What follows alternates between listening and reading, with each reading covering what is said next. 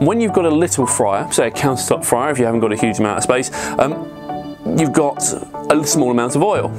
Now, that doesn't take a huge amount of time to heat up, but it also doesn't hold heat very well. And if you put cold food into it, the temperature of the um, oil will drop very dramatically because there isn't enough latent heat to counteract the cold food going into it.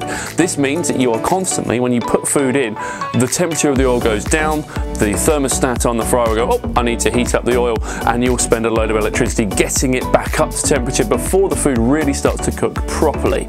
Now, in larger fryers, because you've got a large body of oil, it holds more latent heat. So when you put cold food in there, yes, there will be a dip, but it won't be as much because the latent heat in the rest of the body of oil will counteract it. And that means that your thermostat doesn't kick in for so long and your element isn't actually heating the oil for as long. So actually over time, the more oil you have in your fryer, the less energy your fryer uses.